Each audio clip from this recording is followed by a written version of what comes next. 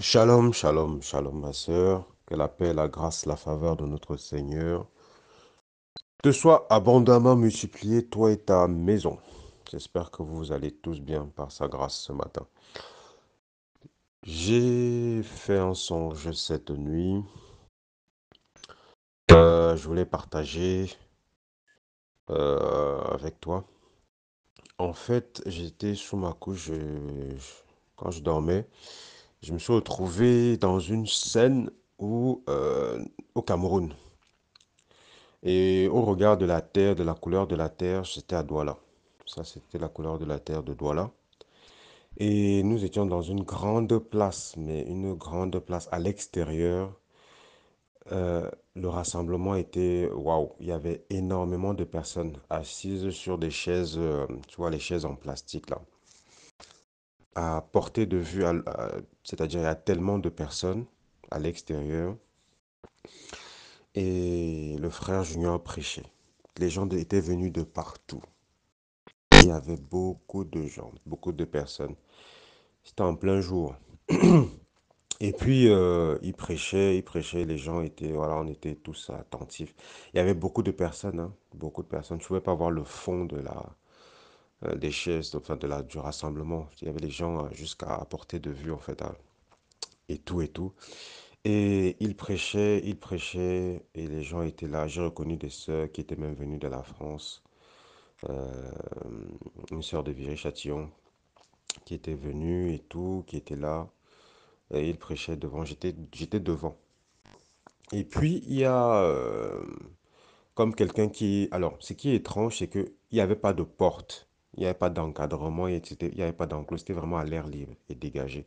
Mais une fois que tu étais dans l'assemblée, c'est comme si tu étais euh, dans un enclos, mais invisible. Pourquoi? Parce que à un moment donné, on entendait des bruits au dehors, enfin de quelqu'un qui venait. Et puis le, le frère Junior est allé. Bizarrement, il y avait une porte, mais je comprends pas en fait ce phénomène en fait. Euh, tu as, quand tu es au niveau de l'assemblée, tu ne vois, enfin, il n'y a pas, il y a pas de, de, porte, euh, il y a, c'est à l'air libre. Mais lui, euh, il y avait une porte qui, euh, à laquelle il allait ouvrir pour, pour sortir. C'est bizarre parce que quand tu viens, c'est à l'air libre, mais il y a une porte pour entrer dans cette assemblée-là. Je sais pas si tu, je me fais comprendre, mais bon. Et euh, donc, du coup, il sort quand le bruit est arrivé. Ça, ça a interrompu euh, le prêche. Ça a interrompu l'évangélisation et tout. Donc, tout le monde, c'était, il y avait un blanc, comme un suspense. Et il est sorti avec, dans cette porte imaginaire-là. Je sais pas si je vais dire ça comme ça. Il est, il est allé voir d'où venait le cri. Donc, c'était une sœur qui venait euh, donner comme une information. Elle venait en courant en criant. Donc tout le monde était attentif dans le suspense et tout et tout. Et puis il est sorti, euh, regarder. Et c'était une sœur, j'ai reconnu, je me suis levé aussi, je me suis levé, je crois qu'il y a une ou deux personnes qui s'est levées, dont la sœur de Viry-Châtillon, euh, je ne vais pas citer son nom, qui est sortie aussi. Elle est venue, elle est, on est sortis ensemble, quoi, parce qu'il y avait un suspense. Et il s'avère que c'est une, une sœur que j'ai vue au Cameroun, à Douala. C'est une intercesseuse. Elle t'appelle souvent euh, de façon amicale, de façon fraternelle, la femme de mon conducteur. Parce que quand j'étais avec toi, elle t'appelait comme ça, la femme de mon conducteur. La femme de mon conducteur et c'est une intercesseuse. Je crois qu'elle fait partie des intercesseurs.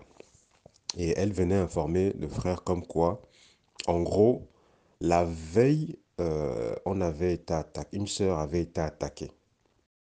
Donc moi, je recevais dans l'esprit que c'était quelqu'un que le frère avait dénoncé par ses actes, en fait. Et, et la sœur en question qui avait été attaquée parce qu'elle avait sûrement parlé de lui, un truc comme ça. Mais c'est ce que moi, je recevais dans ma tête, en fait, dans mon esprit.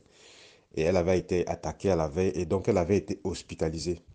Et donc la sœur qui est venue, donc euh, à ce moment-là, interpeller l'assemblée, enfin venir euh, interrompre en criant, euh, elle expliquait au frère Junior qu'il est revenu à la re- retrouver la sœur en question à l'hôpital pour en finir avec elle, en fait. Et donc la veille, il avait attaqué avec une petite arme et là, il était, il est venu à l'hôpital pour en finir avec elle. C'est comme si, je ne sais pas s'il avait tué finalement ou si son attaque n'avait pas réussi. Donc, elle lui expliquait Et j'étais à l'extérieur. Quand je dis à l'extérieur, c'est bizarre parce qu'en fait, il n'y a pas d'extérieur, mais on était hors de cette, cette, euh,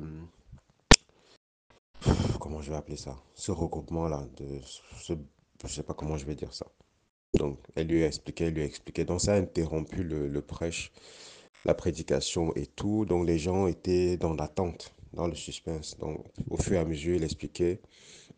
Et je trouve c'est comme si elle est pas, le frère Junior est parti avec elle pour s'enquérir de la situation. Et les gens ont commencé à se lever, ça se vidait. Et Bon, ça, ça a interrompu le, euh, la prédication et ce qui se passait. Et donc, les gens ont commencé à rentrer chez eux un à un. Donc, ça s'est vidé. Je voyais comment ça se vidait. Donc, ça avait, ce jour-là, c'était fini. C'était, ça avait interrompu euh, le, la prédication et l'évangélisation. Je sais pas comment je vais appeler ça. Et puis, euh, bon, je suis sorti du songe, quoi. Que le Seigneur soit béni, glorifié.